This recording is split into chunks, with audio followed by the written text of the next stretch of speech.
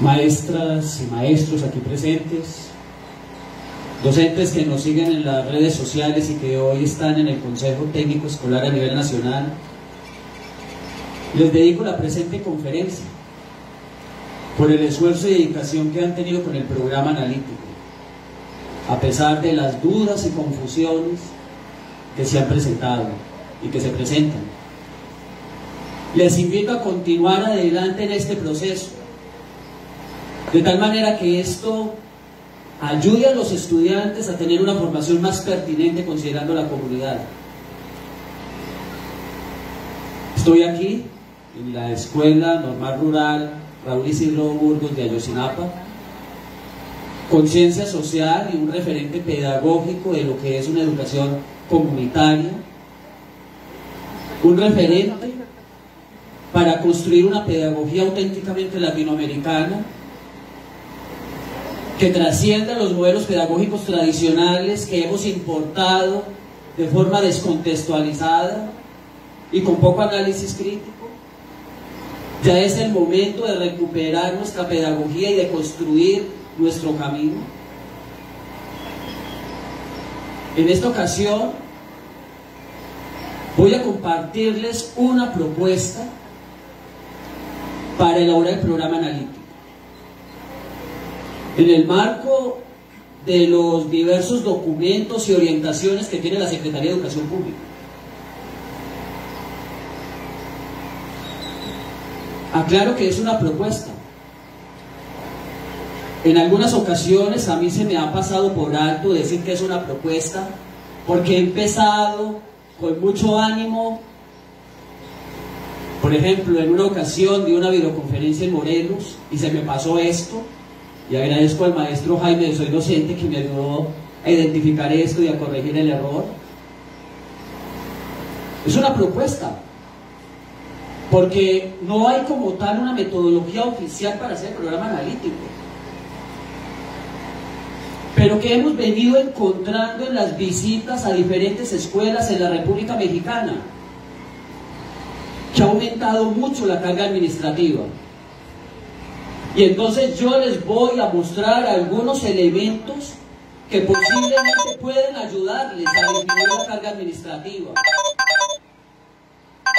Les invito a que reflexionen sobre estos elementos.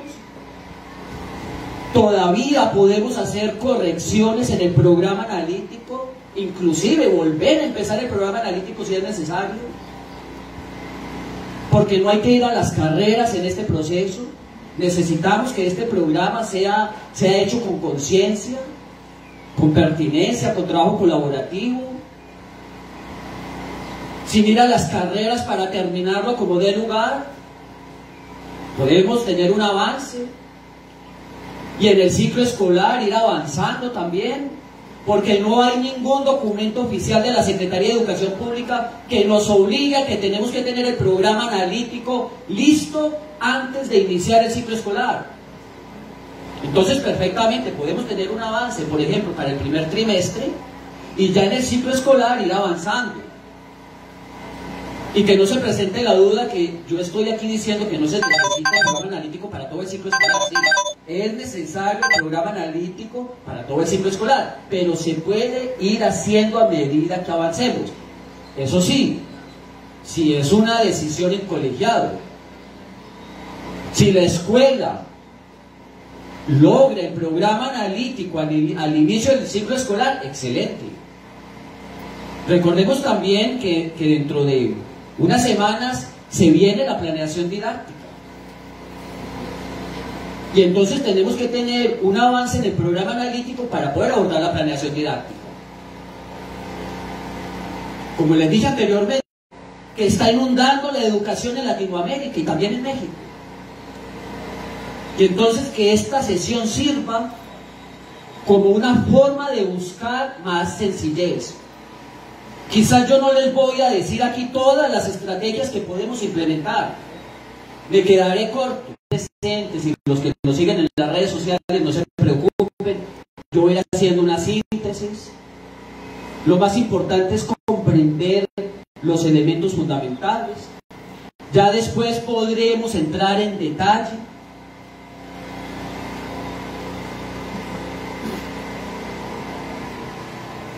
Muy bien. ¿Por qué decimos que hay que buscar opciones más sencillas? Aquí tenemos una propuesta. Aquí estamos viendo el campo formativo de lenguajes. Entonces se tiene el lenguaje, luego hay una situación problema del contexto, que son los problemas con los servicios públicos que tienen muchas familias en una determinada comunidad. Luego se seleccionaron tres ejes articuladores, inclusión, pensamiento crítico y apropiación de la escritura a través de la lectura y escritura. Luego se seleccionó contenido del grado cuarto de María y junto a ese contenido un PDA. El contenido es sobre la participación en la gestión de asuntos personales y el PDA dice, identifica formularios que se emplean en la gestión de determinados trámites personales en el campo de lenguajes. ¿Y luego qué ocurre? Se hace una planeación para ese contenido y PDA. Una planeación en términos de temporalidad, porque se plantean las sesiones, nueve sesiones, se plantea una fecha, ya se está diciendo que se va a trabajar del 9 al 29 de septiembre en el próximo ciclo escolar. Luego se están planteando orientaciones didácticas y generalmente estas orientaciones didácticas son como actividades. Por ejemplo, dice, análisis de caso en torno al empleo de un formulario para realizar una solicitud de un servicio en el hogar, historia de empleo de un formulario en una familia, completar algunos datos faltantes en un formulario, etcétera. Y luego también se plantea cómo debe ser la evaluación, la evaluación formativa. Dice que debe ser con retroalimentación, con trabajo entre pares. También se plantea una lista de cotejo. Este tipo de planeación es bastante común. No sé si en alguna de sus escuelas la tienen. Hacer la planeación por campo formativo y luego por contenido. No es incorrecto. Pero ¿qué sucede? Que esto aumenta mucho la carga administrativa. ¿Por qué aumenta mucho la carga administrativa? Porque hay que hacer esto por cada uno de los PDA y por campo formativo. Entonces, cuando pasemos a la planeación didáctica, significa que vamos a tener que hacer un proyecto de esta manera. O volver a replantear el programa para unir PDA y contenidos. Y eso va a aumentar también la carga administrativa. ¿Por qué? Porque necesitaremos dedicarle más tiempo a esto. Entonces fíjense que esto solamente con un PDA para el grado cuarto. Y a continuación, pues tenemos otro campo formativo, que es saberes y pensamiento científico. Y nuevamente en saberes y pensamiento científico también se toma un PDA para este grado, ya con otro problema que es la alimentación inadecuada, cuando perfectamente podríamos buscar un mismo problema que uniese los diferentes PDA y nuevamente para este PDA también se hace una planeación. Entonces, pues digo, esto no es incorrecto. También tenemos que entender que no hemos tenido orientaciones puntuales sobre cómo hacer esto, porque nos hemos encontrado con una gran cantidad de propuestas en Internet. Pero mi misión en estos momentos es ayudar a disminuir la carga administrativa. Porque ese ese debe ser un reto en la pedagogía latinoamericana no llenarnos de papeleo en la pedagogía. Muy bien.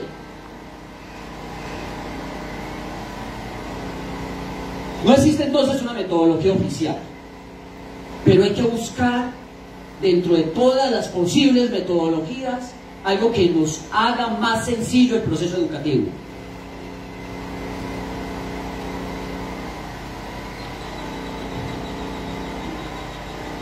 Comencemos entonces. La Secretaría de Educación Pública plantea con muchísima claridad tres planos para hacer el programa analítico. En el libro para el maestro, en el apartado, bueno, en el maravilloso apartado, el diseño creativo. Es uno de los apartados más claros para abordar el programa analítico como también los distintos referentes que están en el Plan de Estudio 2022 y que se publicaron en el Diario Oficial de la Federación. El programa analítico comprende los primeros tres planos. El diagnóstico socioeducativo, la contextualización y el codiseño. como muy bien sabemos todos. Y el cuarto plano es la planeación didáctica, que va a comenzar próximamente. Y sobre la cual se va a tener un taller intensivo en el mes de julio. Yo voy a mostrarles cómo ir del plano 1 al plano 4 de forma sintética. Comencemos con el plano 1, análisis socioeducativo. ¿Qué es lo que hay que hacer en este plano? Entender que el diagnóstico socioeducativo no es focalizarnos solamente en los procesos académicos de los alumnos, como lo hemos hecho por siglos. Que esa solamente es una dimensión y que hay que considerar otras dimensiones, como lo, como lo, como lo son la población y el entorno, el ambiente familiar, la formación integral, la escuela y los ambientes de aprendizaje, entre otras dimensiones que consideremos relevantes en nuestra escuela, porque estas serían las, las, dimensiones mínimas, las básicas. Y sugerimos hacer el diagnóstico comenzando por la población.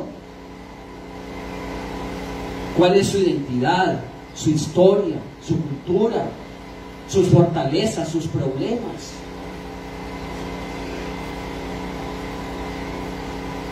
Su parte económica, su movilidad, la salud, la convivencia, la inclusión, la equidad. Cómo es el ambiente, la fauna y la flora. Y con eso entonces ya vamos a tener un panorama general para luego ir al entorno familiar y después pasar a los estudiantes. Y entonces cuando estemos identificando las fortalezas y problemas en los estudiantes, ya vamos a tener más información para entenderlos. ¿Quiénes son nuestros alumnos? ¿Cómo es que se originan los problemas que tienen en lectura, en escritura, en cálculo, en, en los diversos campos formativos?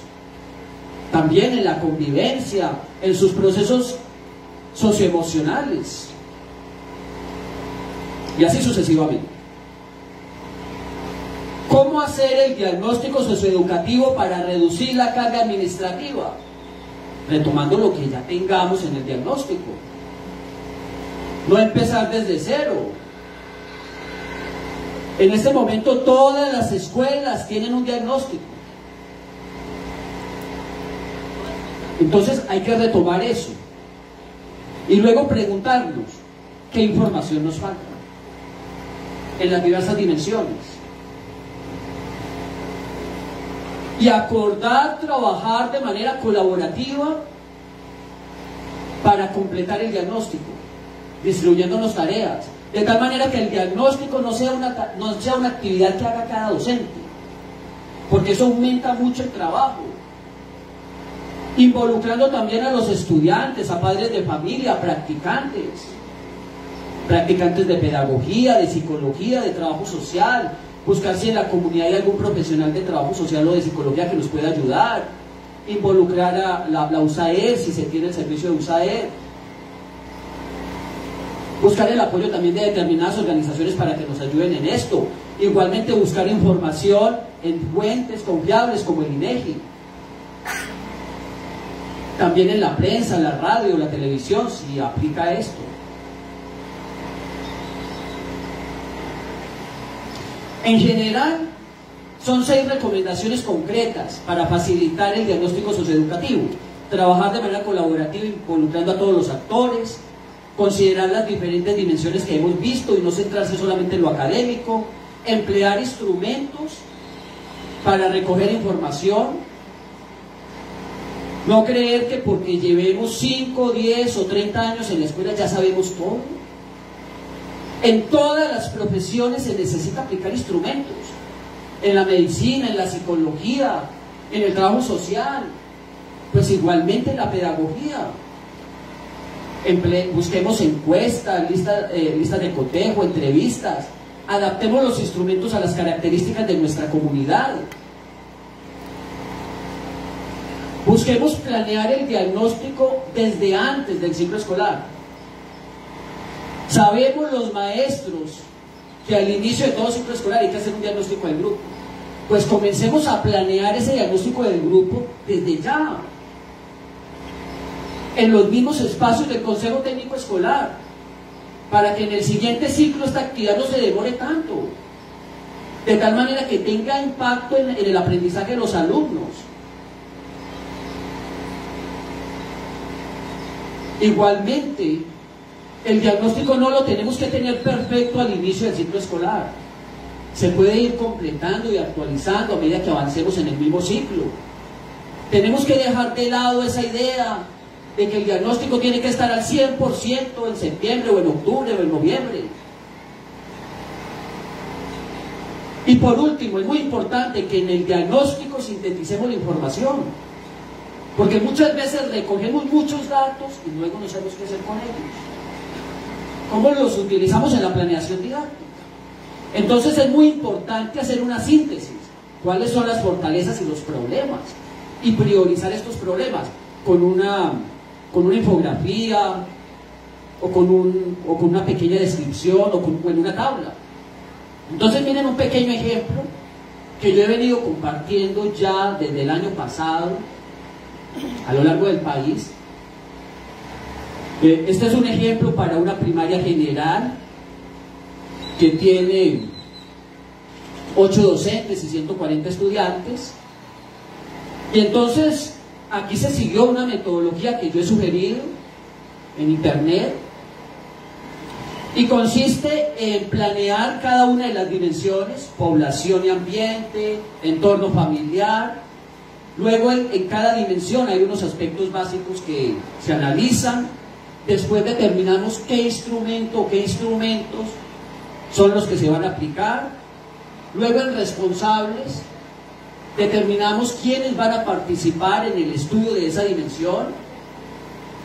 Por ejemplo, aquí van a participar el director, los docentes, los estudiantes y los padres de familia. Piensen que no es solamente un diagnóstico que hagan los docentes. Tenemos que apoyarnos en todos los actores y así se va a ir reduciendo la carga administrativa. Y al final, entonces se hizo este diagnóstico a partir de la planeación y miren ustedes que hay una síntesis de fortalezas y una priorización de problemas y esta priorización de problemas que están observando es lo que nos va a orientar mejor en el programa analítico porque entonces ya sabemos cuáles son los problemas a los cuales les vamos a dar más énfasis al inicio.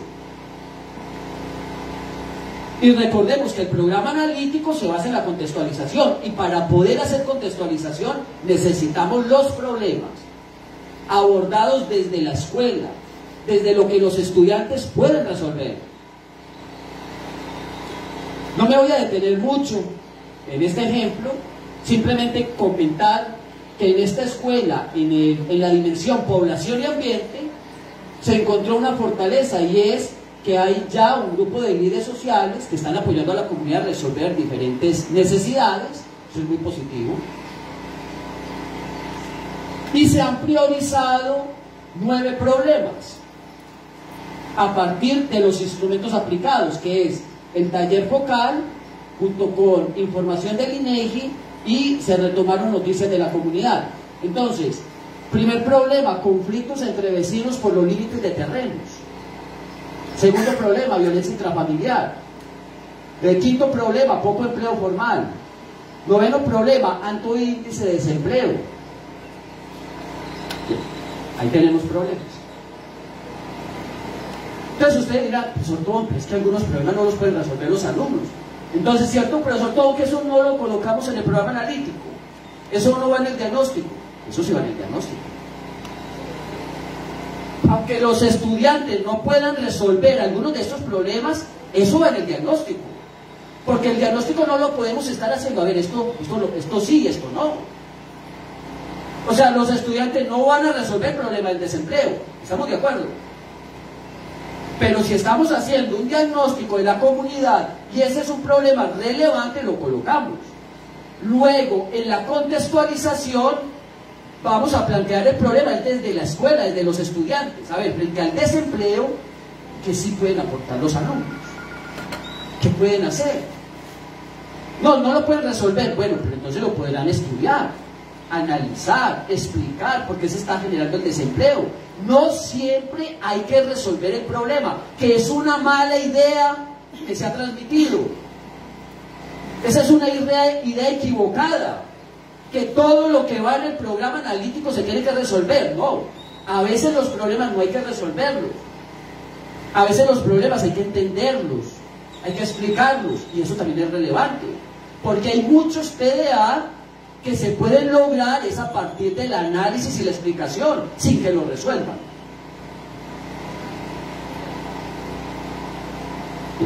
Vamos a otra dimensión. Aquí está el entorno familiar. Miren que también en, este, en el, diagnóstico de esta dimensión participaron varios actores, el director, los docentes, los estudiantes, pero se logró el apoyo de un practicante de psicología por la gestión del director de esta escuela. En esta comunidad también hay un trabajador social y se logró que el trabajador social apoyara en el diagnóstico, por ejemplo, revisando la encuesta, ayuda, dando orientaciones sobre cómo aplicar la encuesta, que ellos son expertos en eso. Igualmente participaron tres padres de familia que tienen cierto conocimiento de esto. Fortalezas en general, hay apoyo de las madres a los hijos en temas del estudio, pero miren los problemas que se priorizaron después del análisis. Uno, predominio del estilo de crianza basado en gritos, amenazas y castigos físicos en las familias. Dos, el 33% de las familias tiene conflictos o violencia intrafamiliar.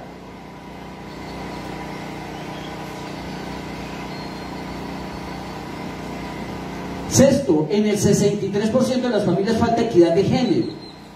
Séptimo, en el 60% de las familias falta una alimentación equilibrada. Ustedes notan que algunos problemas están de manera cualitativa y otros de forma cuantitativa. Lo ideal en un diagnóstico es tener información de ambos tipos. Esa información cuantitativa de porcentajes surge es porque se han aplicado encuestas a través de Google Forms, con el apoyo de los mismos alumnos. Y ahí precisamente en instrumentos vemos que se aplicó una encuesta. Una encuesta con preguntas abiertas y con preguntas cerradas. Entonces, la información cuantitativa deriva de las preguntas cerradas. Pero ustedes en la escuela pueden optar simplemente por hacer todo de manera cualitativa o cuantitativa o de las dos formas. Muy bien. Eh, vamos avanzando, aquí tenemos la formación integral, vemos que en general los estudiantes tienen dificultades para manejar las normas, que falta concentración, que en el 16% de los alumnos hay alguna situación de acoso escolar, el 78% de los alumnos casi no consumen hortalizas ni vegetales, eso es un problema muy relevante. Aquí tenemos la dimensión de aprendizaje y habilidades para la vida, que es la que tradicionalmente hemos abordado en el diagnóstico. Y entonces aquí se tuvieron en cuenta las calificaciones, pero se, se aplicaron pruebas de habilidades, de lectura, de redacción y de cálculo y por ejemplo, para el grado cuarto de primaria se encontró que el 56% no tiene el nivel esperado en redacción, el 47% no tiene el nivel esperado en lectura y el 51% no tiene el nivel esperado en cálculo. Eso fue porque se aplicaron pruebas cuantitativas. Es muy importante saber cuál es el porcentaje de alumnos en cada grado que tiene dificultades para poderles apoyar y poderles hacer seguimiento. Pero igualmente es necesario el análisis cualitativo para entender cómo es que se dan estas dificultades y a qué se deben. Muy bien. Y así seguimos con la otra dimensión que son la escuela y los ambientes de aprendizaje. Y al final tenemos un instrumento que he propuesto para evaluar cada uno de los planos del programa analítico, que es la escalera del programa analítico. Si de pronto todavía no la conocen, porque se ha socializado en las redes sociales, les invito a que ya mismo la busquen, si tienen la oportunidad. Los que están aquí presentes y los que nos siguen en las redes sociales y que la descarguen. Aquí tenemos la escalera para valorar el diagnóstico socioeducativo. Es en forma de escalera. ¿Qué significa que sea en forma de escalera? Significa que nos hacemos una pregunta de reflexión, que está ahí, frente al diagnóstico que estamos haciendo. Y la pregunta es, el análisis socioeducativo de la escuela describe con precisión los procesos, fortalezas y problemas de la comunidad y no solamente los elementos académicos en los estudiantes. Entonces nos ubicamos en el primer escalón y comenzamos a revisar. Tenemos lo que dice el primer escalón, pasamos al segundo y revisamos. Entonces el segundo escalón dice, tenemos un nivel básico. ¿Qué significa un nivel básico? Que se abordan las diferentes dimensiones de la comunidad y se identifican los problemas. Entonces, vamos al diagnóstico, a lo que tenemos. Y ahí en ese diagnóstico, si estamos en el paso, en el, en el escalón 2, vamos a encontrar el estudio de la comunidad, del ambiente, de la fauna, el estudio de cómo es el entorno de las familias, vamos a encontrar también cómo se encuentran los alumnos en sus habilidades socioemocionales, vamos a identificar cómo se encuentran en los procesos académicos, lectura, escritura, cálculo, que son habilidades que todos tenemos que tener para la vida, y que, ahí aparecen los problemas. Se observan los problemas. Ay, profesor Tón, nos faltan los problemas. Entonces, si nos faltan todavía los problemas, porque no están todavía claros, entonces nos vamos al paso, al, al escalón 1. Y, identificamos los problemas y nos volvemos y ya cuando identificamos los problemas volvemos al escalón 2 y entonces como ya tenemos lo del escalón 2 pasamos al escalón 3 que es tenemos un nivel satisfactorio.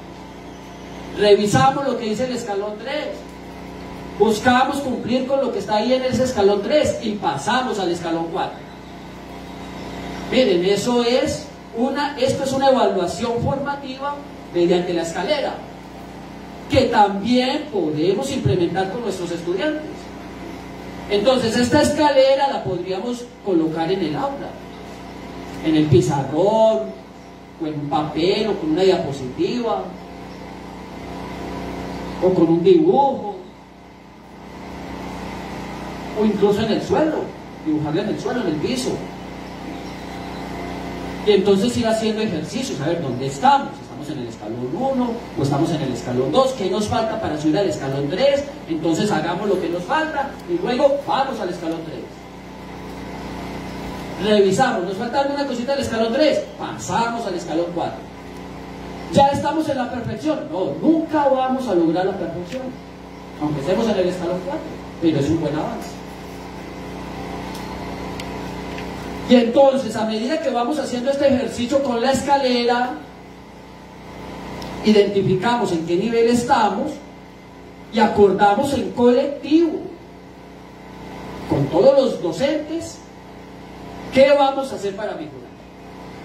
Y entonces establecemos acuerdos y los anotamos y les vamos haciendo seguimiento a esos acuerdos para que esto no se quede en letra muerta Y entonces ahí también podemos definir roles. Una persona que coordine el proceso, otra persona que le haga seguimiento a los acuerdos, otra persona que vaya haciendo la sistematización del diagnóstico, otra persona que gestione los aspectos de logística para trabajar de la manera más adecuada y satisfactoria posible, otra persona que esté pendiente de quién se va a incubando, quién se va a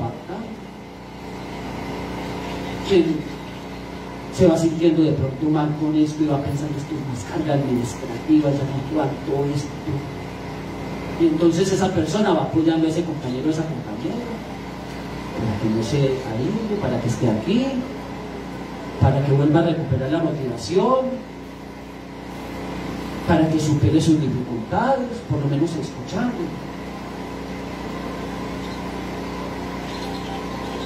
Muy bien. Plano 2, contextualización. Ya voy a cosas más prácticas. Los que nos están siguiendo en las redes sociales, en los consejos técnicos escolares, yo creo que aquí esto les va a ayudar mucho. Contextualización. Muy bien. La contextualización hay que dividirla en dos, como lo ha hecho la Secretaría de Educación Pública. Para educación inicial, preescolar, primaria y telesecundaria, lo mejor es articular los PDA de los diferentes campos formativos por cada problema o situación problema encontrada en el diagnóstico.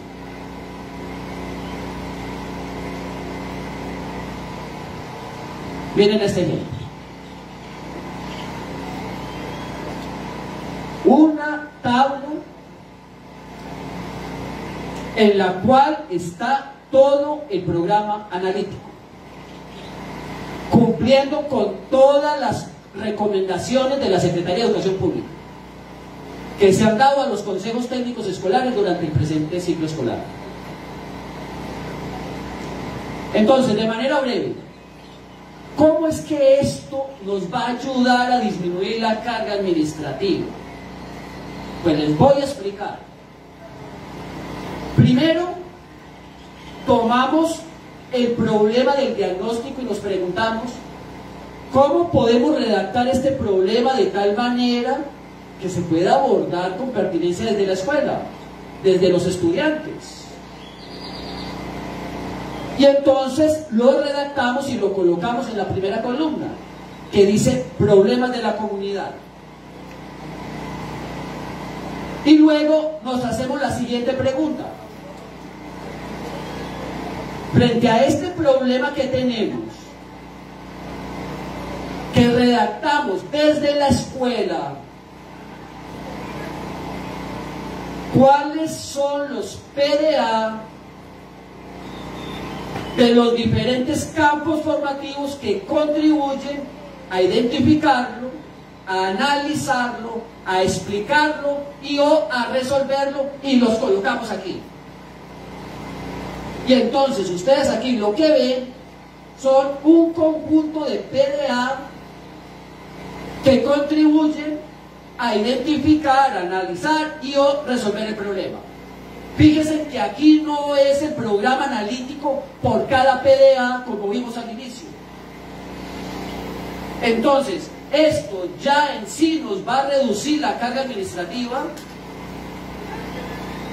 porque entonces la planeación de las orientaciones didácticas, de los ejes articuladores y de la temporalidad flexible no va a ser para cada PDA, sino para un conjunto de PDA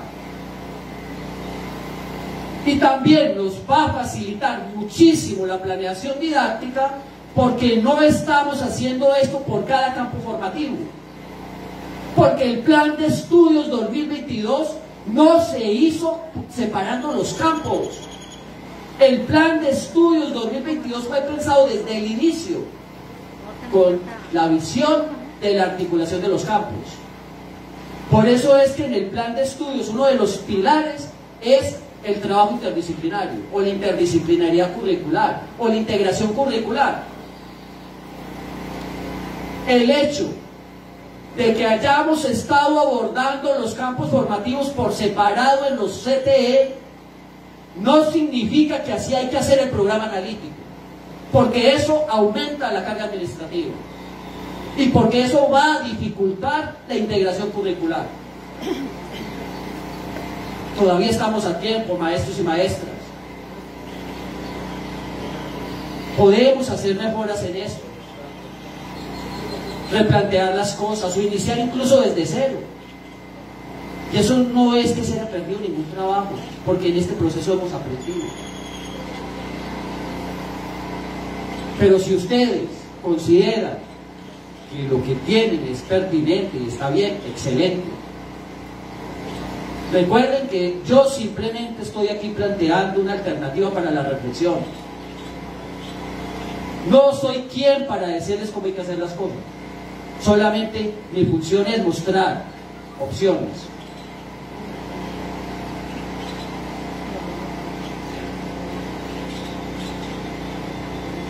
Aquí estamos ante un ejemplo para la, para la fase 4 en primaria Y los PDA que observan en esta tabla son para el grado 4 o para el grado 4. El programa analítico debe concretarse en cada grado.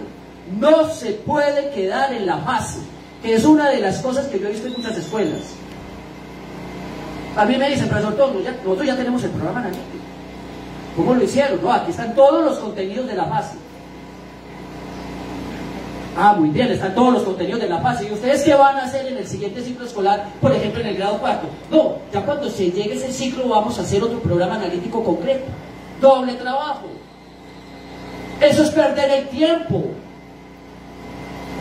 El programa analítico tiene que concretar qué se va a hacer en cada grado, de una vez.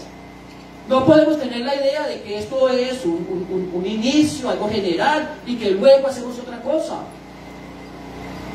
sino que lo que hagamos aquí ya va a ser. Y que el paso siguiente es la planeación didáctica. Así esto sea solamente un avance. Y podemos trabajar plenamente con avances. Si es que así lo considera la escuela, dentro de, su, eh, dentro de su deliberación, tal como está en el plan de estudios.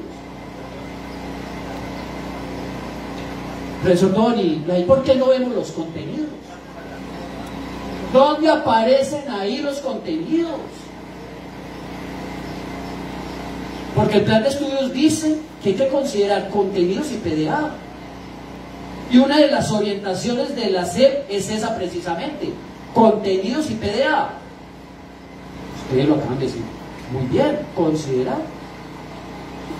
Hay que considerar los contenidos, por supuesto, pero en ninguna parte se dice que en un documento siempre hay que, hay, que agregar todo eso. Que en toda tabla hay que agregar contenidos y PDA. Si los contenidos ya están en el programa sintético, ¿por qué tenemos que volverlos a colocar en una tabla si no los estamos modificando, si no les estamos haciendo ningún, ningún replanteamiento? O sea, en una tabla de ir es lo esencial, lo que nos sirve para tomar decisiones. Entonces, el hecho de no agregar en estas tablas los contenidos nos facilita enormemente la vida según mi experiencia. Porque ustedes pueden ver aquí la tabla. Si le agregamos aquí los contenidos, pues esto se va a extender. Y entonces si se va a extender dos, tres o cuatro páginas, va a ser más difícil establecer relaciones para hacer la planeación didáctica. Entonces nos vamos a demorar más.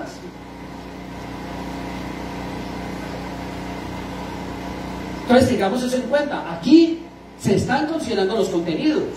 Simplemente no se están agregando en una tabla porque no hay ningún lineamiento oficial que lo diga.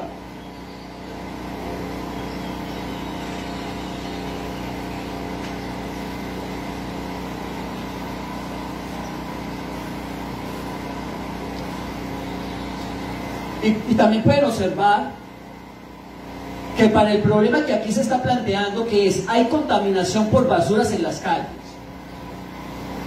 que fue identificado en el diagnóstico, como vimos anteriormente, entonces se identificaron PDA en todos los cuatro campos formativos, incluyendo saberes y pensamiento científico con matemáticas.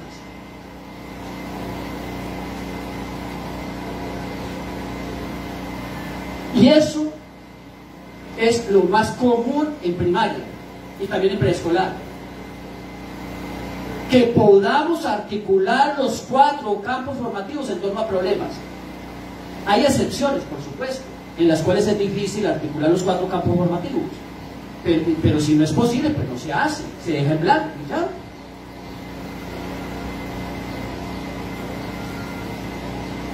Finalmente, Miren lo que tiene que ver con las orientaciones didácticas, los ejes articuladores, la temporalidad y las estrategias. Veámoslo aquí. Eh, en otro ejemplo, para el mismo grado cuarto de primaria. Aquí se abordó el problema, aquí se abordó el siguiente problema. En muchas familias se tienen conflictos o violencia intrafamiliar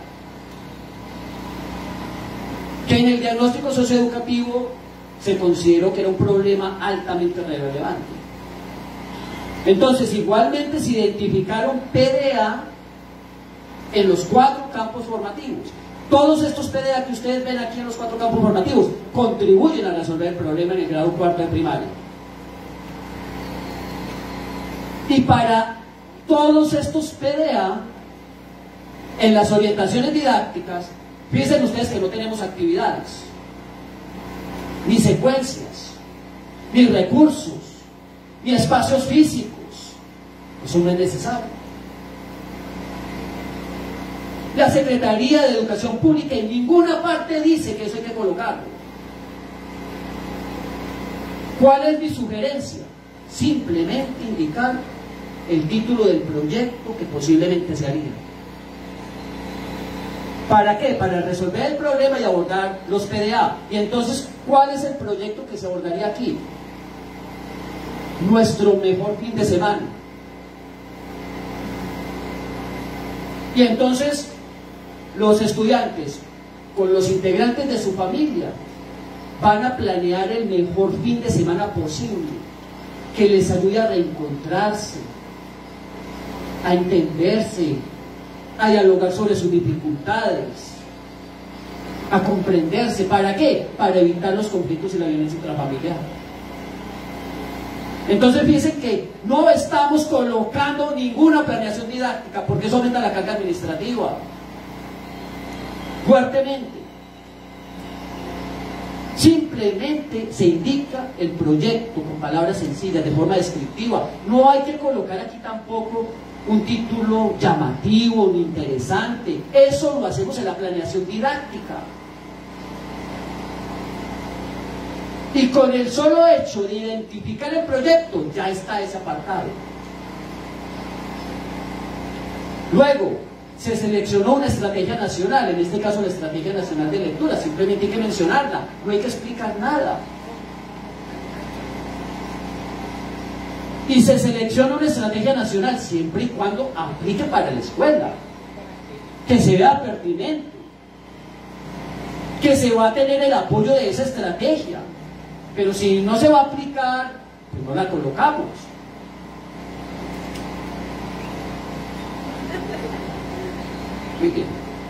Quédate aquí también. Tú estás también interesado, muy interesado. Luego sigue eje articulador. Miren, ante todo, proponer un eje articulador, no hay que proponer tres, ni cuatro, ni cinco, ni seis. Porque si proponemos muchos ejes articuladores, eso implica mucho análisis. Y en la planeación didáctica vamos a tener que volver a retomar este punto. Entonces mi sugerencia es solamente propongamos un eje articulador que se relacione fuertemente con el problema, con el proyecto y con los PDA, que tengamos plena seguridad de que lo vamos a abordar, que no es por perder el tiempo ni por completar un documento para presentar. Y luego ya en la planeación didáctica volvemos a hacer el análisis. ¿Será que este eje articulador se aplica o no? ¿Será que es necesario agregar otro eje articulador o, u otros ejes articuladores? Pues si es necesario, agregamos más ejes articuladores. Pero ya en la planeación didáctica, tratemos de avanzar aquí lo más rápido posible en esto. Porque es que los ejes articuladores no, no, no, es suficiente que los mencionemos, los tenemos que demostrarles en las actividades y en la evaluación.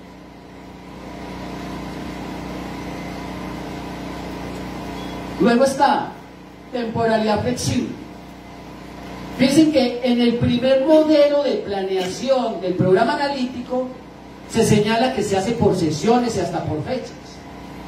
Y eso es lo que predomina en la actualidad en la mayoría de formatos y explicaciones que hay en Internet. Pero eso aumenta la carga administrativa.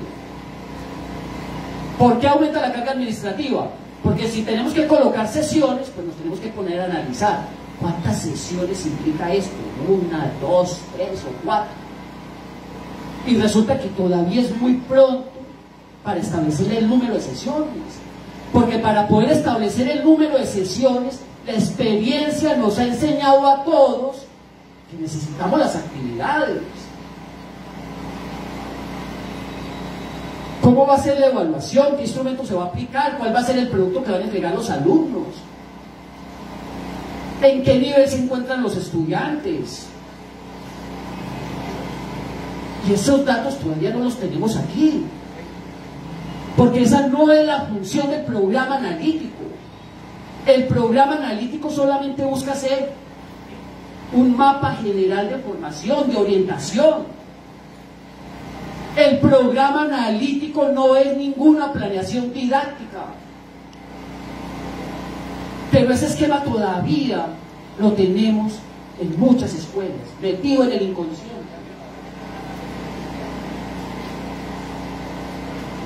Y es, y lo entiendo, por los referentes que hemos tenido y también por la falta de orientación de la Secretaría de Educación Pública. Pero maestras y maestros, les invito a que en este momento reflexionemos. ¿Qué podemos hacer en este Consejo Técnico Escolar para mejorar? Para hacer las cosas más sencillas, menos administrativas, menos burocráticas.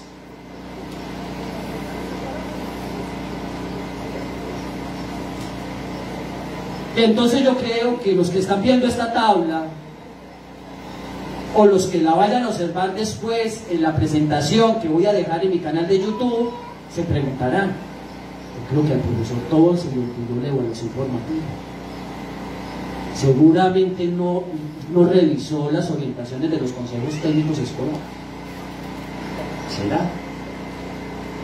Miren, no se me ha, no se me ha, no se me ha olvidado la evaluación formativa sí he revisado las orientaciones de los consejos técnicos escolares donde se menciona que un componente del programa analítico es la evaluación formativa. Pero ¿saben qué? La Secretaría de Educación Pública no dice cómo es que hay que hacer la evaluación formativa.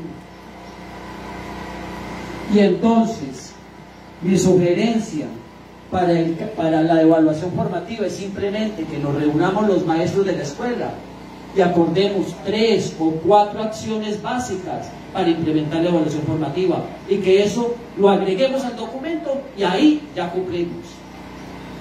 No hay que planear la evaluación formativa por PDA ni por grupos de PDA, porque eso lo vamos a hacer en la planeación didáctica. Hacerlo en este momento, en muchos casos, va a ser una perdera de tiempo.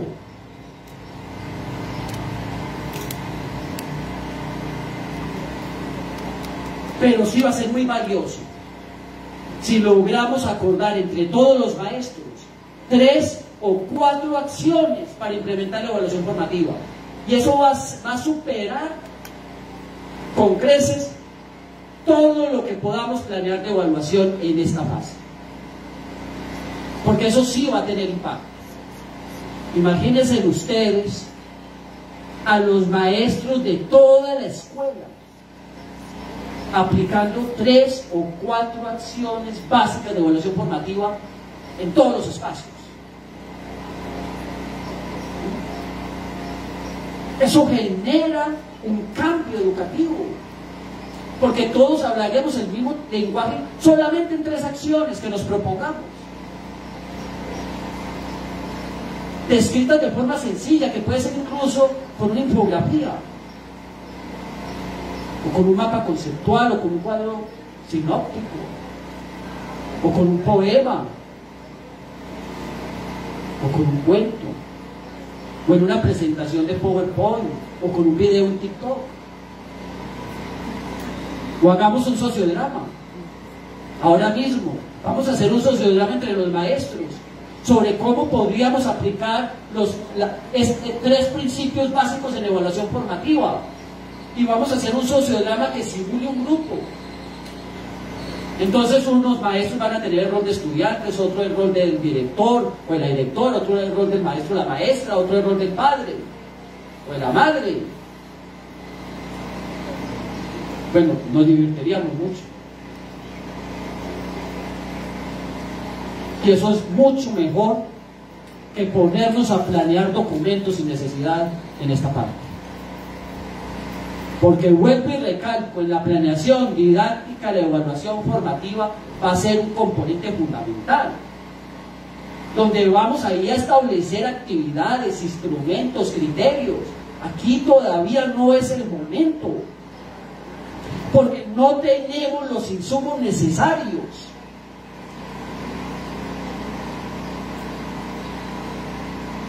Por eso no aparece allí la evaluación formativa en estas tablas.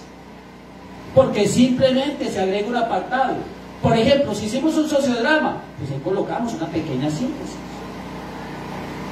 De cómo en el sociodrama ilustramos la aplicación de tres o cuatro principios de evaluación formativa. O la infografía, o el poema, o el cuento, o la historia, o el video en TikTok, o el video en YouTube.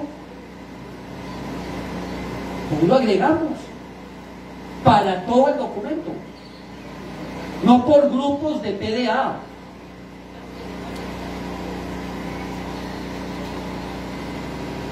Muy bien.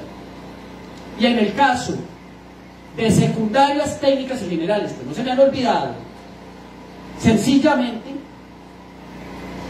podemos hacer lo siguiente.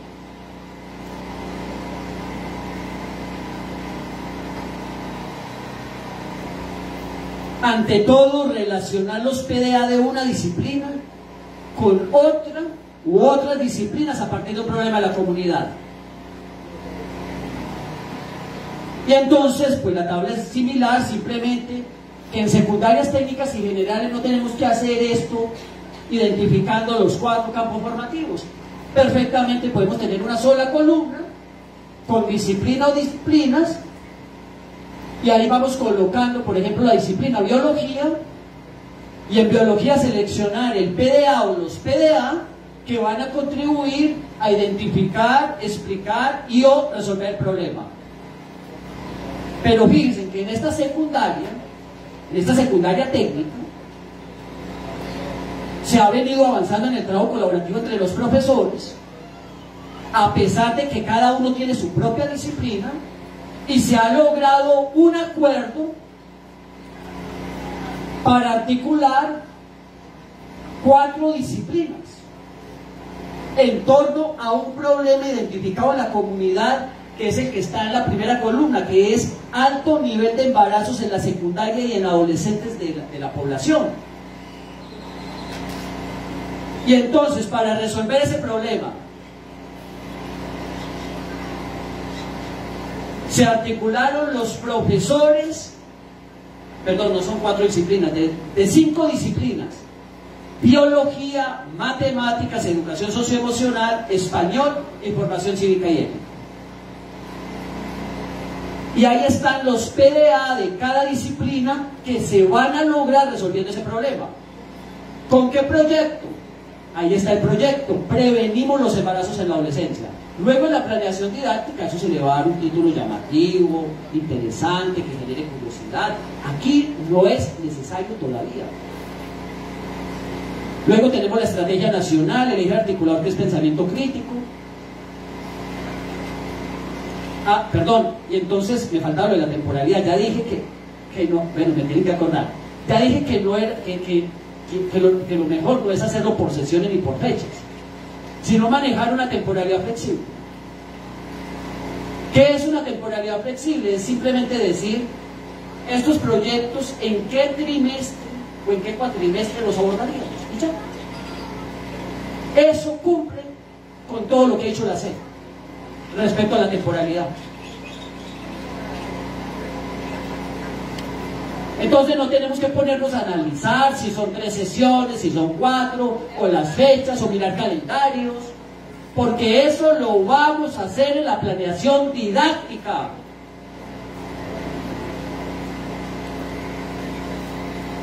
¿Para qué perder ahora tiempo en esa parte? Si todavía no tenemos las bases para establecer con precisión esa temporalidad.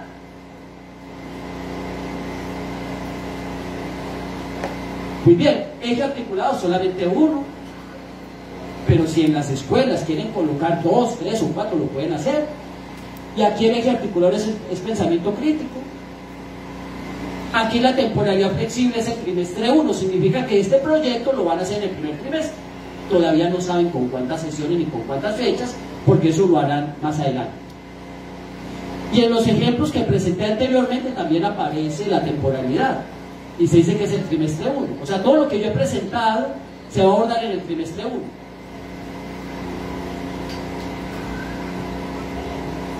Si en agosto, en, esta, en estas dos escuelas, una de primaria y otra de secundaria, no se tiene al 100% el programa analítico, eso no es un problema. Lo importante es que al menos se tenga lo que se va a hacer en el primer trimestre. Y ya luego en el primer trimestre se planea lo del siguiente y así sucesivamente. Pero aclaro, para que, no, para que esto no genere confusiones, si las escuelas quieren hacer todo esto al 100%, ya mismo lo pueden hacer. Siempre y cuando no vayan a la carrera, ni hagan esto por imposiciones.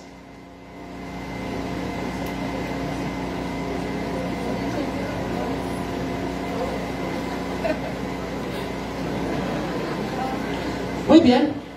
Y entonces, como en los casos anteriores, también tenemos una escalera. Ya no me voy a detener mucho, ya les expliqué más o menos cómo es que se hace. Eh, ustedes aquí me vieron brincando un poquito, pues así, si tenemos niños, pues hay que hacer así ejercicios también. Pues en preescolar y en primaria, a ver, para, simular la escalera. De cómo es que vamos avanzando.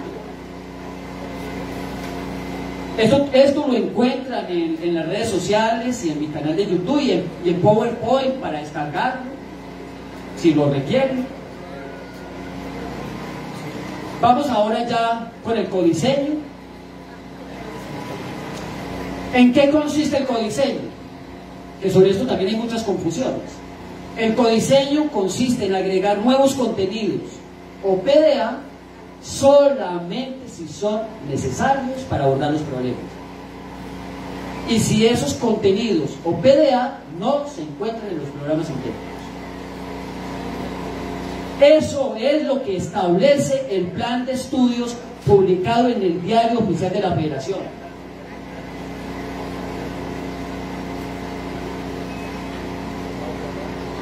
Muy bien. ¿Dónde colocamos el codiseño en la propuesta que les estoy haciendo? En la misma tabla. Les sugiero que no coloquen el codiseño en otro formato, en otra tabla o en otro apartado, porque eso les va a dificultar el establecimiento de relaciones y la misma planeación didáctica.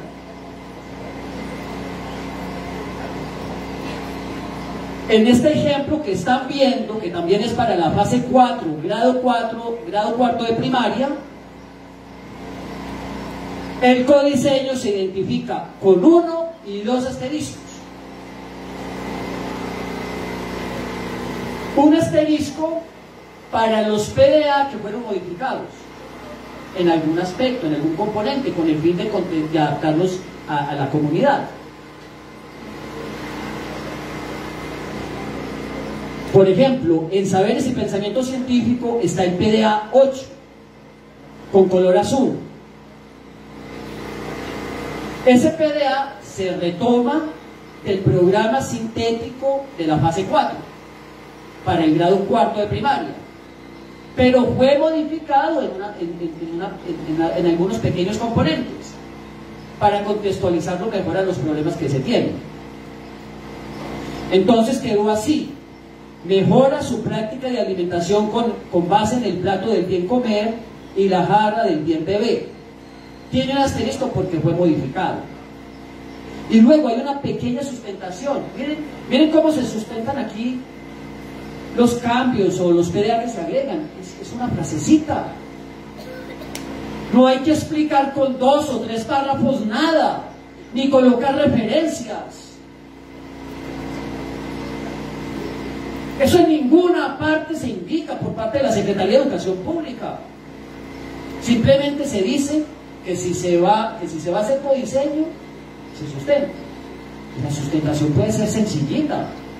¿Por qué? Porque recordemos que también tenemos el diagnóstico socioeducativo. ¿Y qué mejor sustento que ese? Si a mí me preguntaran, yo diría, no es necesario colocar ninguna, ninguna justificación. Simplemente que el que tenga dudas, pues que pregunte o que se vaya al, diagnóstico. Que ante todo lo más importante es que el colectivo docente tenga claridad de eso. Y que si el, el, director o el supervisor o el ATP tienen alguna duda, pues que, que les expliquen los maestros. No todo tiene que estar por escrito, pero aún así, en, en estas tablas sí aparece la justificación, pero sencillita. Con una pequeña frase.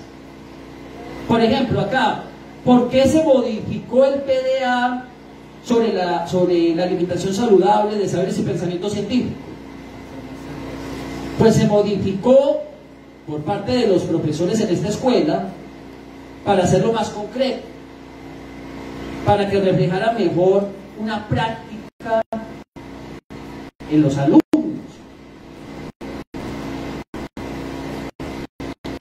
Bien, cuando agregamos un contenido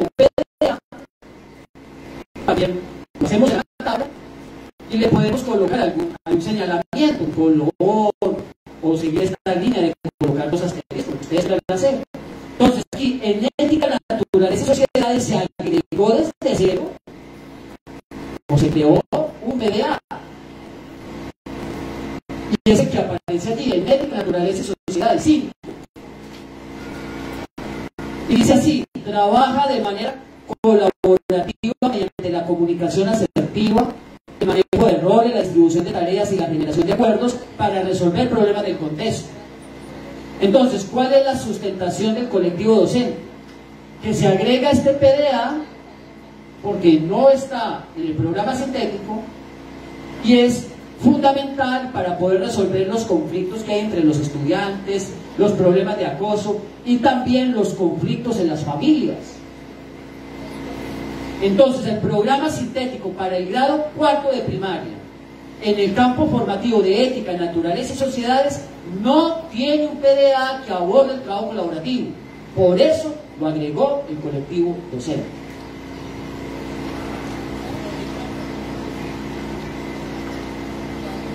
Luego también agregaron otro PDA entre lo humano y lo comunitario, con la misma lógica.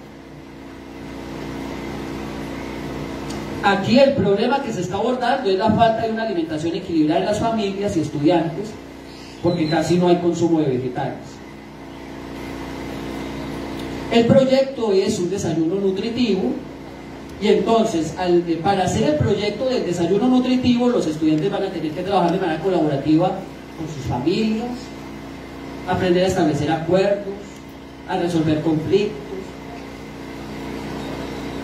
también hacer análisis económicos para ver hasta dónde puede mejorar el desayuno, de acuerdo con los ingresos que tiene.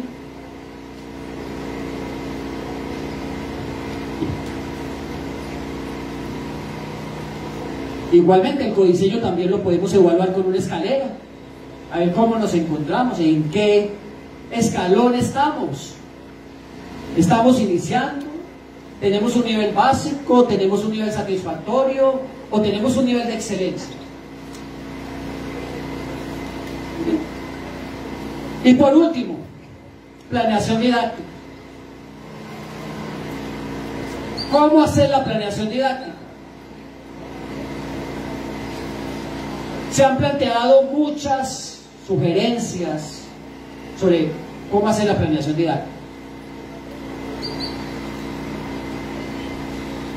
Se exponen en muchos apartados, en internet, en redes sociales, diferentes estrategias. Mi sugerencia con todo respeto es que ante todo le demos prioridad a los proyectos porque creo que es la estrategia que se acomoda más al sentido profundo del plan de estudios 2022. Recuerden ustedes que los primeros avances del plan de estudios 2022 tenían un apartado que decía proyecto, ¿recuerdan? Sí. Pero que luego por todas las discusiones y con el fin de, de lograr amplios acuerdos, como que eso se fue desvaneciendo y más bien apareció la idea general de que se pueden aplicar estrategias didácticas contextualizadas o, globalizadoras, etc. Mi sugerencia es considerar la posibilidad de hacer la planeación didáctica por proyectos. Solamente les doy tres argumentos. Primer argumento, los libros de texto van a venir por proyectos. Proyectos de aula, proyectos de escuela y proyectos de comunidad. Y entonces, ¿cómo no va a ser más fácil, apreciados maestros y maestras, hacer la planeación didáctica por proyectos para luego articular los libros de texto, que también vienen por proyectos, que hacer la planeación didáctica con otras estrategias, que luego va a ser un poco más retador establecer todas esas interrelaciones.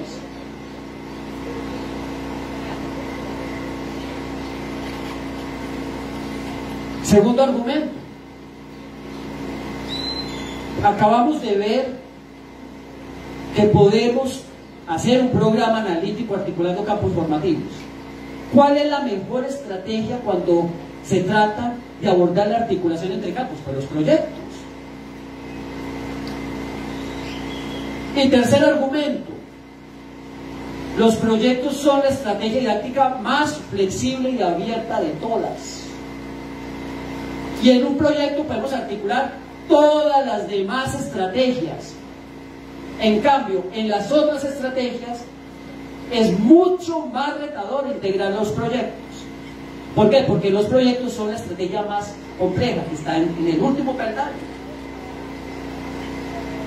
Entonces ahí les dejo esos tres argumentos. Y fíjense, si, seleccionamos proyectos, entonces, ¿cómo pasamos a la planeación didáctica? Vamos a, a regresarnos, por favor al anterior. Es al anterior. Eso, mire. Aquí en el programa analítico yo les había sugerido identificar el proyecto. Entonces, ¿qué haríamos en la planeación didáctica? Pues simplemente planificar el proyecto. Por ejemplo, dice, desayuno nutritivo. Pues entonces vamos a planificar entre nosotros y con los alumnos cómo es que vamos a hacer un desayuno nutritivo vinculando a la familia. Y eso facilita enormemente el trabajo. Los proyectos son una de las estrategias didácticas más fáciles de abordar. Nos tenemos que quitar ese mito de que trabajar por proyectos es algo muy difícil. Empezando porque es una estrategia extremadamente flexible. Mucho más flexible que las secuencias didácticas. Porque en una secuencia didáctica estábamos obligados a seguir un camino. Paso 1, paso 2, paso 3, paso 4. Un proyecto no. Porque un proyecto no es secuencial.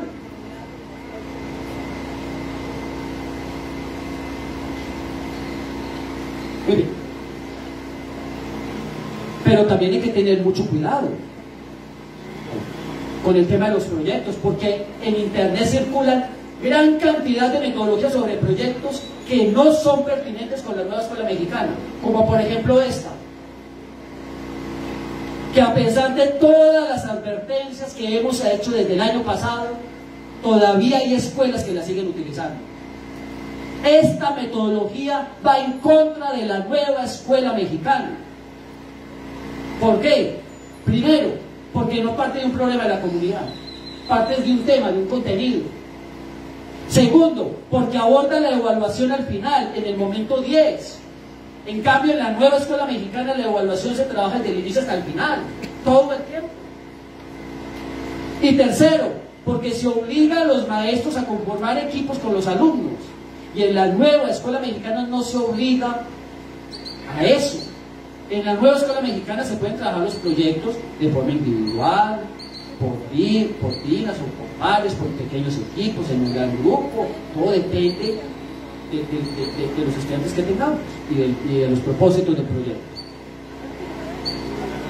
Muy bien, en general un proyecto busca que los estudiantes logren unos determinados PDA con la resolución de un problema comunitario articulando actividades y disciplinas. Y un proyecto puede durar pocas sesiones, varias semanas, varios meses o todo un ciclo escolar.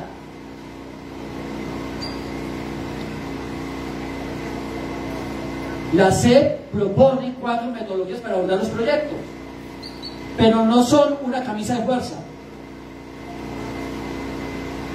Cada maestro y maestra tiene la plena libertad de decidir si utiliza una de estas metodologías o no la utiliza. Entonces puede utilizar la metodología de algún autor o su propia metodología, o no seguir ninguna metodología, simplemente asegurándose que los principios básicos de los proyectos sí se apliquen.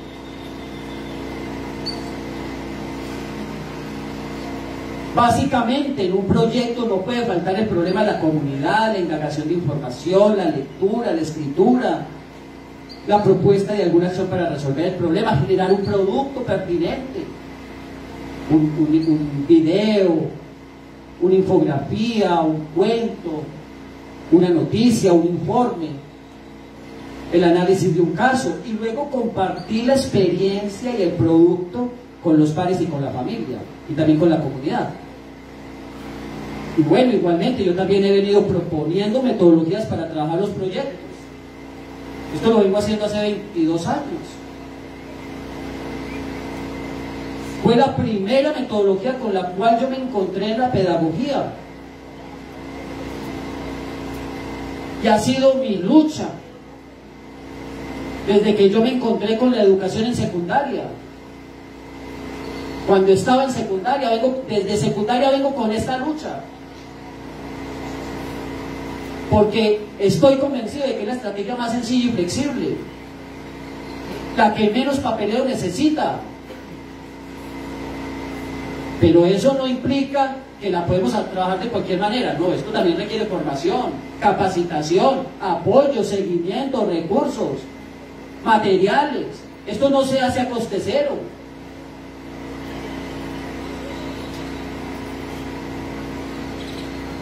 Sencillamente en esta metodología proponemos seis momentos sencillos. Nos motivamos, planificamos, indagamos, ejecutamos, producimos y socializamos. Estos momentos se pueden unir o se pueden desagregar, se pueden trabajar en cualquier orden. Y tienen actividades para qué? Para lograr los PDA que hayamos establecido en función del problema. Muy bien. Aquí tenemos un problema. Como ejemplo, falta una alimentación equilibrada en las familias estudiantes porque casi no se consumen vegetales.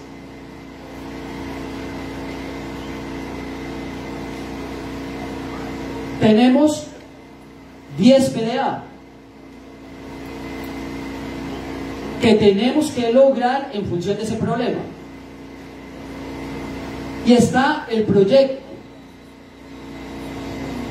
eh, preparar un desayuno nutritivo en familia. Perfecto. Ya esto lo tenemos. No hay que volverlo a colocar en, el proyecto. Pasamos de una vez a la planeación, sin tanto formalismo, sin, sin necesidad siquiera de seguir un formato.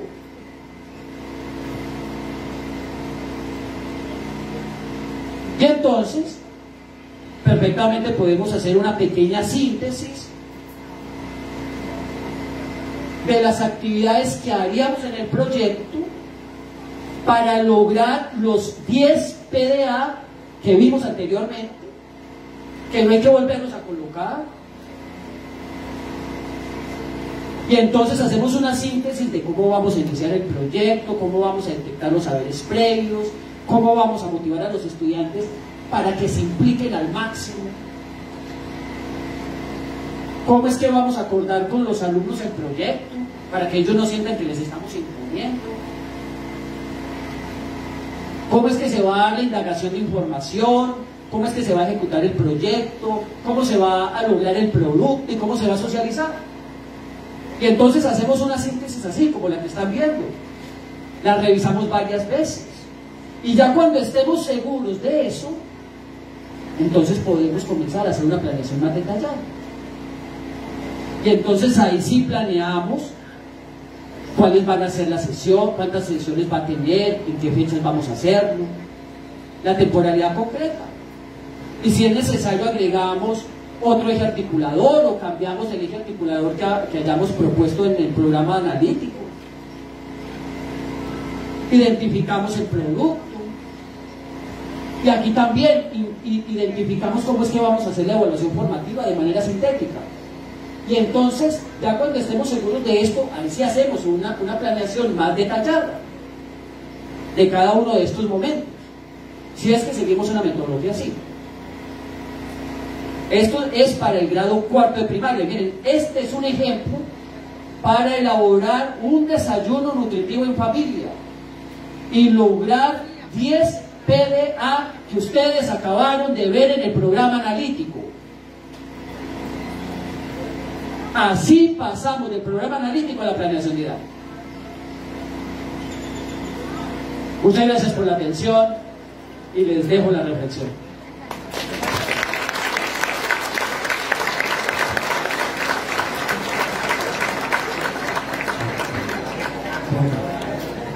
Bueno, pues después de la interesantísima disertación del doctor Tobón, pues vamos a hacer lo que tradicionalmente hemos hecho, una ronda de preguntas y respuestas. Si alguien tiene una pregunta, la puede escribir aquí en las hojas. Si me ayudan, por favor, este, para pasarlas. O directamente también, es correcto.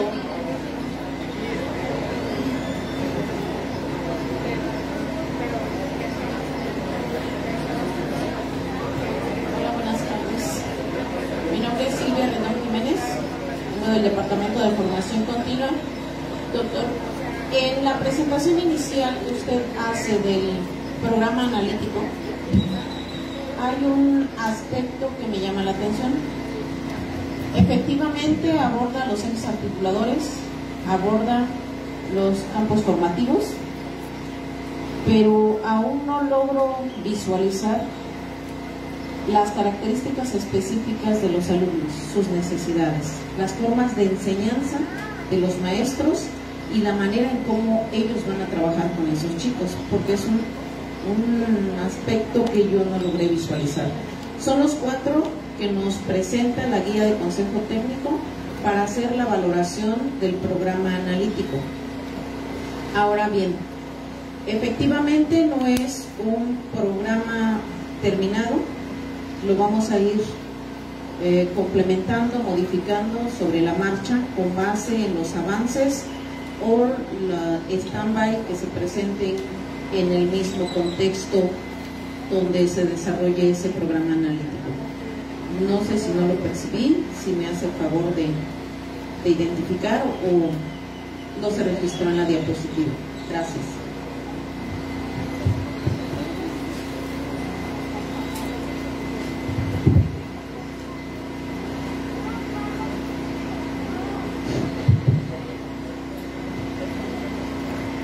Muy, muy relevante lo que nos comparte maestra.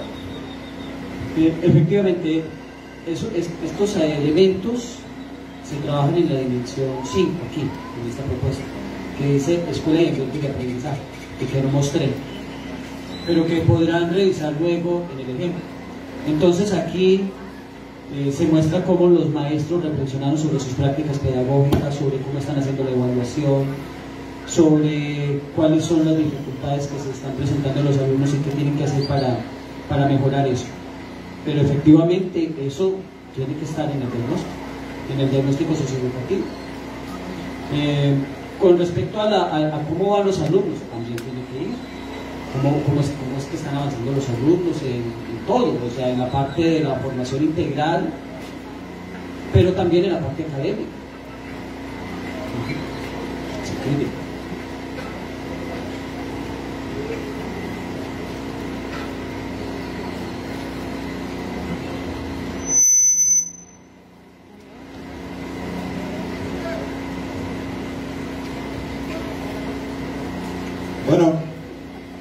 eh, yo laboro actualmente en una escuela primaria rural de una localidad. Y la pregunta es la siguiente. ¿Cómo desarrollar y relacionar mi programa analítico, mi planeación didáctica por proyecto con los libros de texto, puesto que cada centro de trabajo y cada docente va a contextualizar y codiseñar de manera particular. Concretamente, en el orden y el grado de dificultad, ¿vamos a andar brincoteando en los libros de texto o cómo? Sí, muy buena pregunta. Eh, antes de responderla, aquí estamos viendo la diapositiva de referencias bibliográficas en las cuales se ha basado esto en las diferentes orientaciones de la Secretaría de Educación Pública como apoyo. Bien. Para responder exactamente la pregunta, necesitaríamos tener ya los libros de texto, con, con el fin de no equivocarnos y ser precisos en el análisis. Pero me voy a atrever a hacer un análisis sobre su pregunta, a ver hasta dónde puede ser pertinente.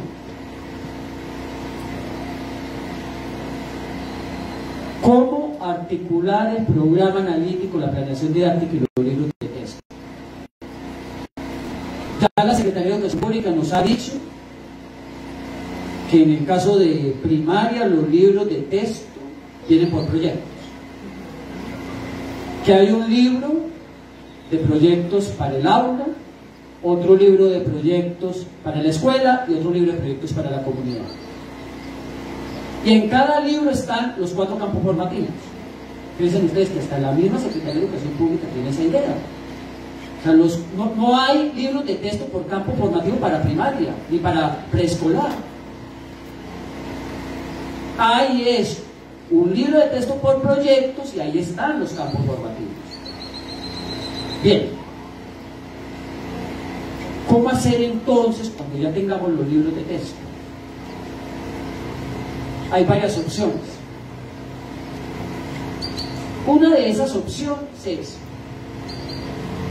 tenemos el programa analítico, en el cual tenemos los problemas priorizados y, proyectos.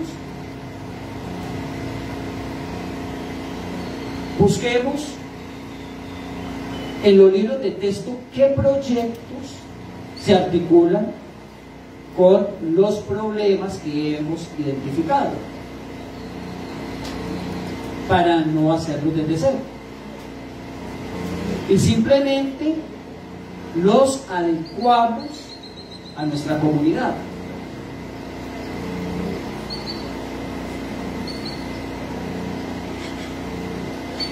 Esa es una opción.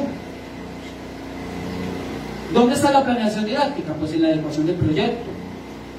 Es que la planeación didáctica no, no significa que siempre tenemos que hacer las cosas desde cero. Hacer una planeación didáctica también puede ser partir de algo ya hecho y adaptarlo, contextualizarlo. Y entonces los libros de texto como recursos para el aprendizaje, tengamos eso presente, que nos señala la misma Secretaría de Educación Pública, pueden ser abordados de esa manera. Revisemos en los libros de texto qué proyectos podemos aplicar en nuestra escuela de acuerdo al programa analítico, de acuerdo con, con los estudiantes, y si es necesario, los adaptamos o los adecuamos o los modificamos, o retomamos lo que sea pertinente de esos libros de texto. Y además de eso, también podemos planear algunos proyectos que consideremos prioritarios en la escuela y que no vengan en los libros de texto, que es mi recomendación. O sea, no, no, no quedarnos solamente en los libros de texto, sino que como colectivo docente al menos acordar hacer unos cuantos proyectos que sean trascendentales.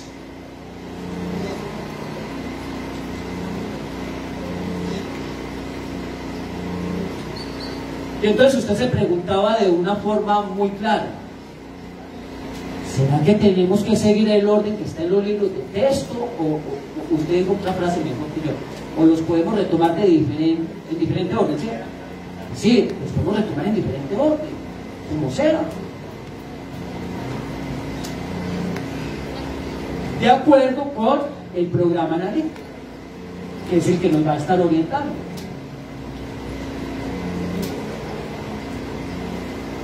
Entonces se puede dar el caso de que en una escuela muchos de los libros, muchos de los proyectos que están en el libro de texto sean pertinentes. Y eso aplica. Simplemente tendrán que acordar el orden en que, se van a, en que van a ser abordados por cada maestro. Pero primaria tiene una gran fortaleza, primaria y telesecundaria tiene una gran fortaleza en los libros de texto. Y es que vienen los proyectos muy bien planeados. A diferencia de secundarias técnicas y generales, eh, donde hasta lo que hemos podido ver en las redes es que, que hay, un, hay un trabajo un poco más general, más disciplinario.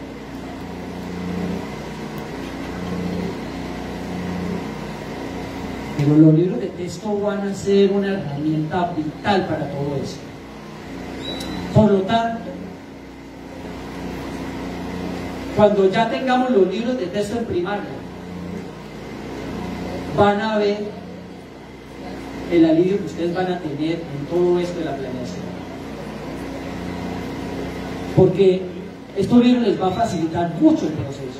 Porque no es lo mismo empezar de cero que tener ya un, avance, una idea, un ejemplo, o incluso un proyecto al cual solamente le tengamos que modificar algunas cosas y así lo podamos llevar a cabo. O, también que no le tengamos que hacer una modificación porque da el caso de que se aplica perfectamente en la escuela con los niños. Esperemos entonces que liberen la impresión de los libros de texto de primaria, lo más pronto posible para tenerlos. Y que los jueces tengan esto en cuenta.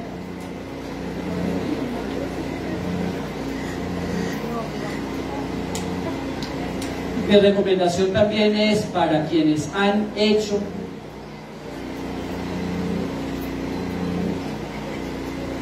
esta demanda en contra de los libros de texto para que recapaciten. Hay muchos beneficios de estos libros de texto. Estos libros de texto no se van a implementar de manera mecánica, porque al frente de estos libros de texto hay maestros y maestras que son profesionales de la pedagogía. Entonces, yo invito a los demandantes de los libros de texto a que reconsideren su posición y que permitan que ya mismo se comiencen a imprimir.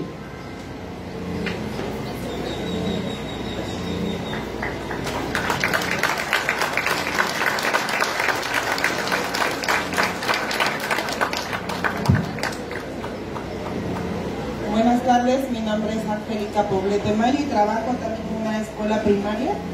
Este, doctor, más que, más que preguntar, este, aclarar algunas cuestiones, la, el consejo técnico, como lo hemos venido trabajando en las primarias, este, hemos trabajado los campos formativos y siento yo que viene siendo como un teléfono descompuesto, porque uno nos dice una información y otros otra.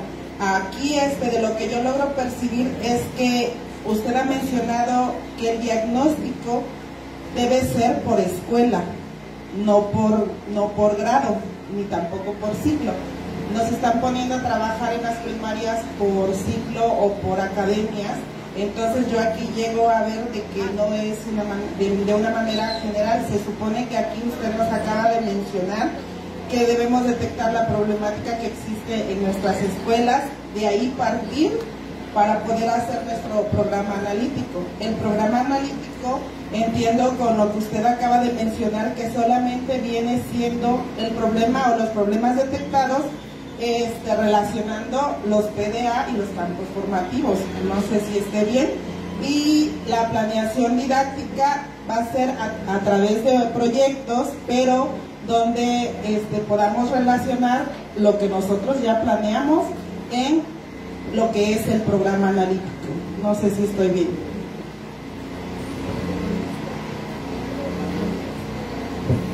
En primer lugar,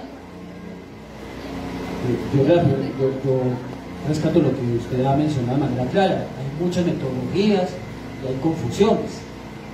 Y yo he empezado diciendo que no son errores, porque no hay una metodología oficial. Hay metodologías que implican más trabajo y otras que implican menos trabajo. Yo apuesto por metodologías que impliquen menos trabajo administrativo, sin decir que las otras están equivocadas o tienen errores. eso no está en mi lenguaje.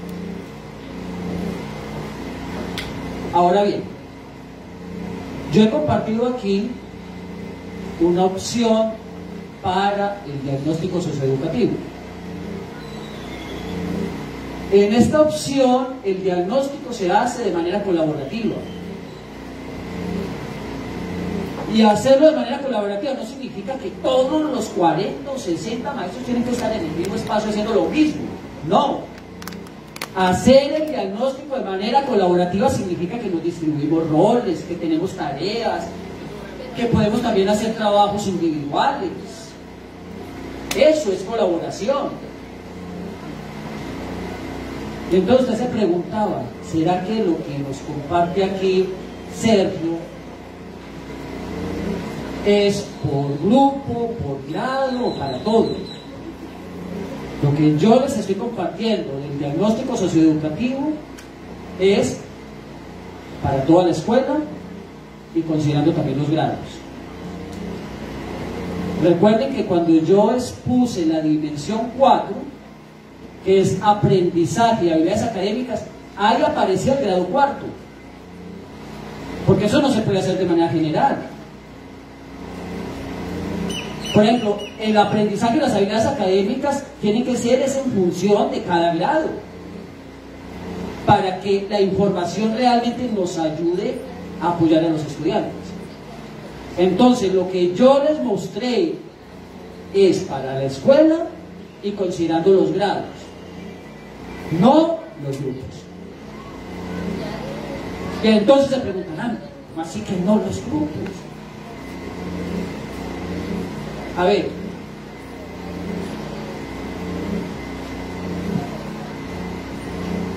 cuando yo digo que no aparecen los grupos es porque primero pues hay que tener una visión general de la comunidad, de la escuela, de los estudiantes. Y porque tenemos que tener claridad de, los grados para orientar el programa analítico. Pero al momento de aplicar instrumentos, lo vamos a hacer con los grupos. O sea, los grupos no van a desaparecer en lo que les estoy diciendo. Por ejemplo, cuando yo mencioné que se aplican pruebas de lectura, de escritura y redacción, ¿a quiénes se les aplica? Pues a los alumnos, en los grupos. Pero no se saca un diagnóstico grupo por grupo, eso es a lo que me refiero. ¿Por qué? Porque esto no lo vamos a aplicar con este grupo. Porque en agosto vamos a tener ese grupo con el cual vamos a aplicar esto. Y por esa misma razón, la planeación didáctica no se hace en este momento por grupos. Y eso lo recalcó la directora de Desarrollo Curricular hace unas semanas, la doctora Sochil, cuando dijo que el programa analítico no es por grupos, sino por grados.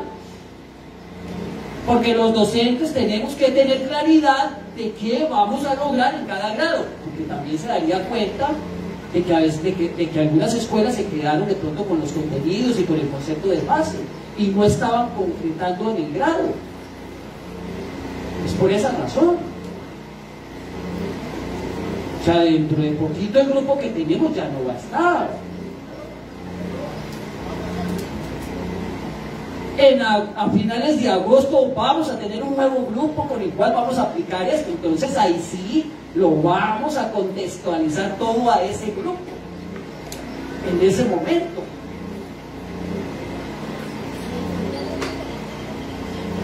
Eso con respecto al, al diagnóstico socioeducativo. Me preguntabas también con respecto a los proyectos. A ver, yo quiero que quede claro de que los proyectos no son una camisa fuerza. De que yo no vine aquí a decirles que tienen que trabajar por proyectos. Yo lo único que les estoy sugiriendo es que dentro de la flexibilidad que propone la SED, que me parece bien, consideren hacerlo por proyectos porque les va a dar más beneficio. Y recalco en el primer beneficio, que les va a permitir una mejor articulación con los libros de texto que vienen por proyectos. Los libros de texto no vienen bajo otras metodologías, como por ejemplo organizadores gráficos o clases magistrales. Todos vienen por proyectos. Entonces, mi lucha es el trabajo sencillo. Y, yo como proyecto un trabajo más sencillo, pues con lo que ya está. Si los libros de texto nos van a aportar gran cantidad de proyectos, no uno, ni dos, ni tres, ni cuatro, ni cinco, es un, buen paquete de proyectos. ¿Por qué no hacer la planeación didáctica también así? Para facilitar la tarea y más bien en cada escuela nos enfocamos es en hacer un pequeño grupito de proyectos altamente relevantes. Tres, cuatro, cinco que no vengan en los libros de texto. Y los otros los adaptamos. Ahora bien, con respecto a los problemas, no se trata de, de tomar los problemas del diagnóstico y listo, no. Tenemos que redactar los problemas es desde la visión de la escuela, de tal manera que los estudiantes sí los puedan resolver. Por ejemplo, si en una comunidad comienza la erupción, de un volcán como está sucediendo en este momento eh, en el volcán. Y eso genera, y eso está generando un desplazamiento. Pues eh, ahí está el problema. Pero tenemos que redactar el programa analítico de tal manera que los estudiantes puedan contribuir a resolver ese problema, de acuerdo con sus características, con, lo que están viviendo en su escuela y en su comunidad.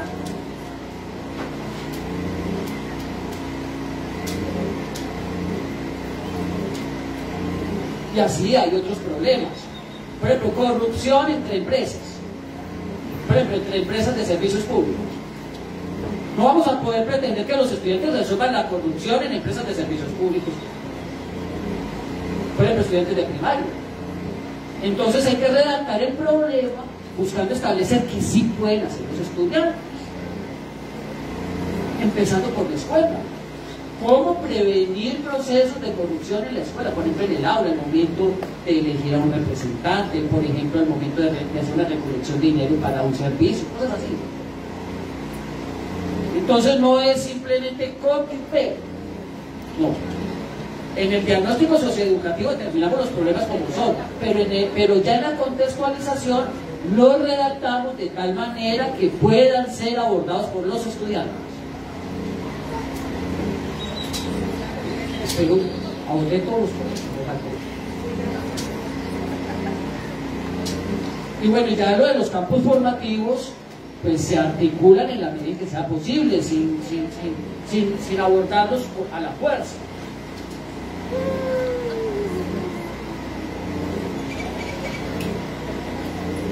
Bueno, bueno. Bueno, con esta última participación cerraríamos esta fase, dado que los tiempos nos están eh, apresurando. Maestro. Muchas gracias. Buenas tardes, don Cómo Voy a presentarme, soy el profesor Armando González, profesor de Educación Secundaria Técnica. Y más que pregunta, es una situación que quisiera hacer una denuncia soy este, docente de la zona escolar 05, la región centro. Eh, un, cinco compañeros de mi escuela tomamos el curso de octubre a diciembre con el CIFO, que usted dirige.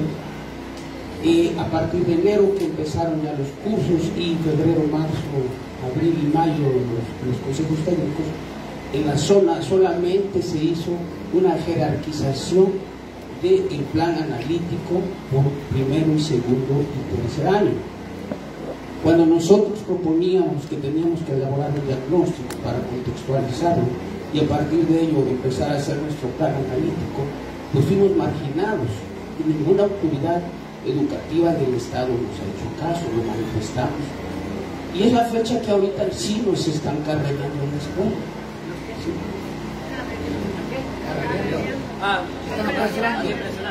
Perdón, me olvidé. Nos están apurando, carrereando los que quieren las cosas al cuarto para. Sí.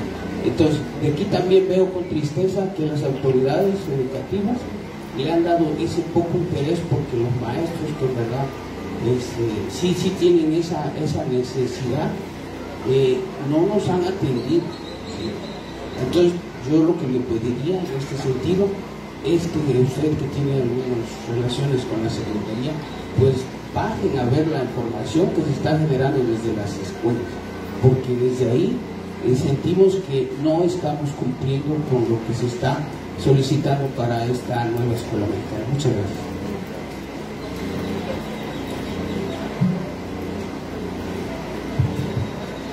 Agradezco que nos comparta esa situación. Le pediría que me envíe pequeño correo para aclararme más y por supuesto ver qué puedo hacer. Pero es muy preocupante eso y esperemos que ese tipo de situaciones no se vuelvan a.